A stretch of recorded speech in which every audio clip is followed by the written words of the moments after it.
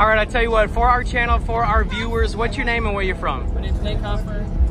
It's Crystal Compher. We're from Minneapolis, Minnesota. Awesome. How many hours drive was that? Uh, like 12 and a half. And you made it. All right.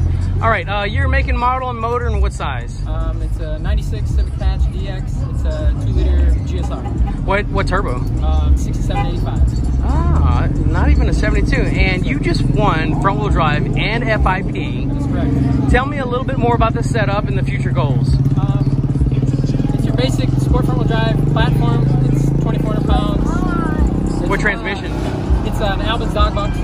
And uh, future goals, just try to win some more races at your events. What's your best ET so far? Uh, it's been 870. Okay, what'd you hit today? Eight, Uh, nine? it went 890. It's hot. It's so hot. something. It's, it's hot, Yeah. but Well, hey, congrats on the win. thank you.